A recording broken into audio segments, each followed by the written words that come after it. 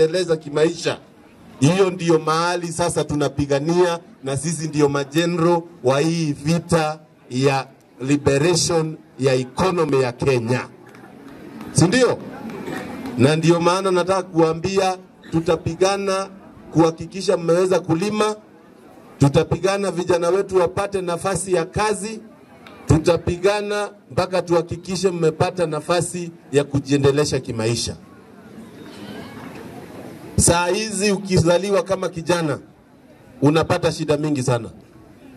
Kwanza kabisa ukichukua hata nduthi na loan, na nataka kuonya hao watu wanapeana loan za nduthi za pikipiki. Huwezi kuwa kijana amejaribu amelipa loni yake amebakisha elfu ishirini alafu hiyo nduthi yako unakuja unachukua unapeleka kwako.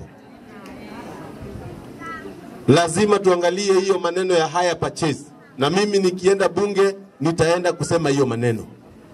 Nimepatana na vijana wengi sana wananiambia, Mgonji, sijalipa mia tano ya hii wiki, pikipiki yangu imechukuliwa. Hata kama unafanya biashara, huwezi angalia vile watu wanaweza kuwa wanakufa njaa, na ile wakati wewe unatengeneza pesa. Pikipiki moja ni elfu mia moja lakini ukimaliza kupiga, kulipa kama kijana ni elfu mia tatu. Hiyo maneno lazima ikwame,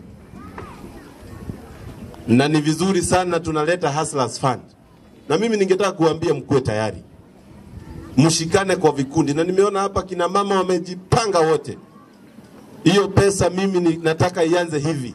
Ndio tuweze kuipatia nyinyi vikundi, na mkipata milioni moja mnatengeneza milioni tatu, mnarudisha milioni moja, inafanya kwingine.